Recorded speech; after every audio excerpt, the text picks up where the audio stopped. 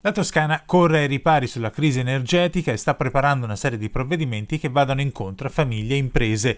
La crisi derivata dalla folle guerra voluta da Putin ha provocato, come è noto, aumenti nelle bollette di gas e luce, creando gravi difficoltà soprattutto alle attività economiche. La Regione quindi agirà su tre sistemi di approvvigionamento energetico, mantenendo la linea fin qui seguita di tutela dell'ambiente.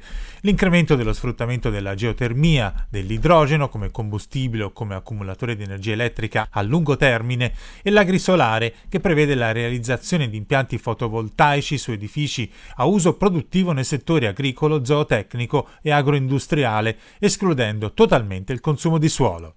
La Regione anche con i comuni sta lavorando nei confronti del governo affinché l'utilizzo della geotermia venga ulteriormente potenziato. La Regione si sta muovendo sulla questione idrogeno. Anche in provincia di Pistoia ci sono imprese che stanno partecipando al tavolo della Regione che ha coinvolto più di 250 soggetti, sia imprenditoriali che le università, e che ha visto già 80 proposte. Adesso la Regione lavorerà a un bando pubblico affinché emergano perché noi abbiamo come Regione una stima di 200 milioni di euro sul PNRR per quanto riguarda la questione idrogeno. L'obiettivo della Regione Toscana è quindi l'integrazione di queste metodologie di approvvigionamento energetico con gli attuali sistemi, un meccanismo che dovrebbe portare anche a sensibili riduzioni nei costi abbinati alla tutela ambientale.